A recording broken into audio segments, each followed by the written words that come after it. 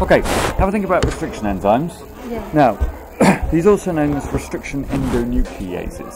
Yeah. Now, how do they evolve? They evolved as a defense by bacteria. So here's your bacteria, and here's its single circular chromosome, and here are plasmids.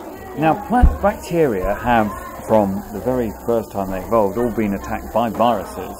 Viruses are called bacteriophages. These are viruses that have your classic lunar lander virus shape, and in it injects some viral DNA, which takes over the, the protein synthesizing machinery of the bacteria, Okay. makes more and more mini viruses, and these virus particles then explode outwards, kill the, the bacteria, and infect other bacteria. Now, not surprisingly, bacteria think this is a remarkably bad idea. So, over time, they evolved a defense, mm. and the defense is a enzyme just an enzyme like any other enzyme. Mm. So it's an enzyme that is obviously, like any other enzyme, a blob of protein, and that blob of protein has a cleft in it. And that cleft is obviously known as an active site. Yeah. Now, just like any other enzyme, this is an enzyme that has a substrate. And the substrate in this case is DNA. And like any other enzyme, the active site is a cleft that is complementary to the substrate. And it's complementary to the particular substrate. Now, what's interesting about this is that what's complementary to each different restriction endonuclease is a different specific sequence of DNA. Okay. So, for example, if you have the sequence G, A, A, T, T, C. Yeah.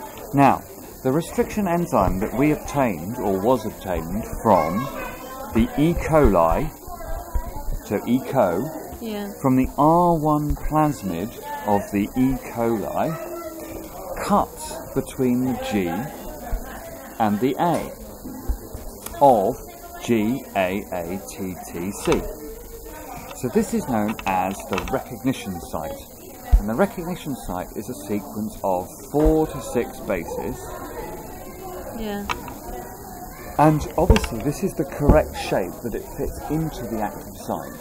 And then the restriction endonuclease cuts here Yeah. between the sugar and the phosphate in the sugar phosphate backbone. Yeah. Now, the point to make is that in a piece of DNA, this sequence is palindromic or symmetrical. This, if you read it this way, this is on one strand that runs 5 prime to 3 prime on the numbering of the carbons. Okay. Remember that the other strand is anti-parallel. So the other strand is going to run 5 prime to 3 prime. Remember numbering of the carbons on the DNAs. I'll go through that again with you in a moment. I'm confused. Um, that is then going to run what's complementary to C, G. Wait, which which what's complementary to T, A what's complementary to T, A what's complementary U U C. T, T, C. It's not U, it's DNA we're talking oh, about. Oh, DNA. Yeah? So, what we've got here is we've got the same sequence. So, one strand we have GAATTC, Yeah. and the other strand going the other way we have GAATTC. Yeah. Oh my god! So now what's going to happen is that the enzyme is obviously going to cut at two places. Okay. So it's going to cut between the G and the A there, and on the between the G and the A here. So what this is going to achieve is a cut here and a cut here. Mm. Now, obviously, the bonds that are between the um, complementary bases, these are weak hydrogen bonds. Yeah. These bits here at the back are strong covalent phosphodiester bonds between the sugar and the phosphates. So these hydrogen bonds will then break of their own accord, Yeah.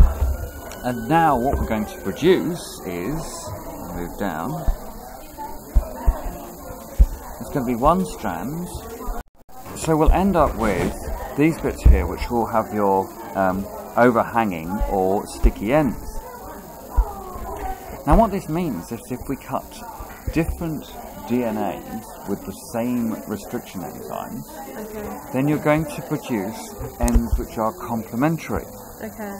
So if you have, say, a length of human DNA and a bacterial plasmid, if you apply the same restriction enzyme to the human DNA as to the bacterial plasmid, well, it will cut the human DNA where it finds the recognition sites, Yeah. and it will cut the bacterial DNA where it finds the recognition sites. If you mix the two together, well, the bacterial DNA and the human DNA may well hybridize and form complementary hydrogen bonds with the human DNA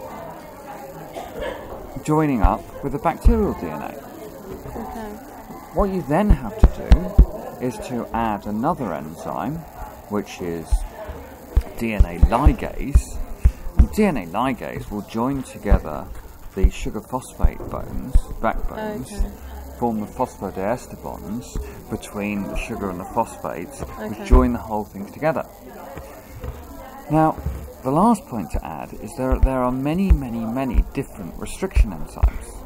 Now, each one of these different restriction enzyme cuts at a different recognition site. Okay. The recognition sites tend to be four to six base pairs in length. Okay. They can be either um, give you sticky ends or they can give you blunt ends depending on the sequence of the site. Okay.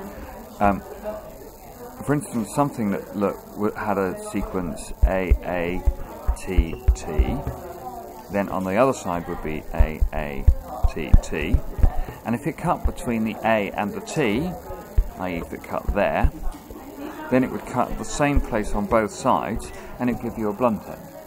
Uh, So that can't attach anything. Well, it can, but if you use an enzyme to stick bases on the end, Okay. but that's just an example of one one that you can do it like that. Okay. Okay?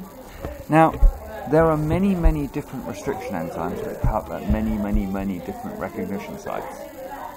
And that's restriction enzymes.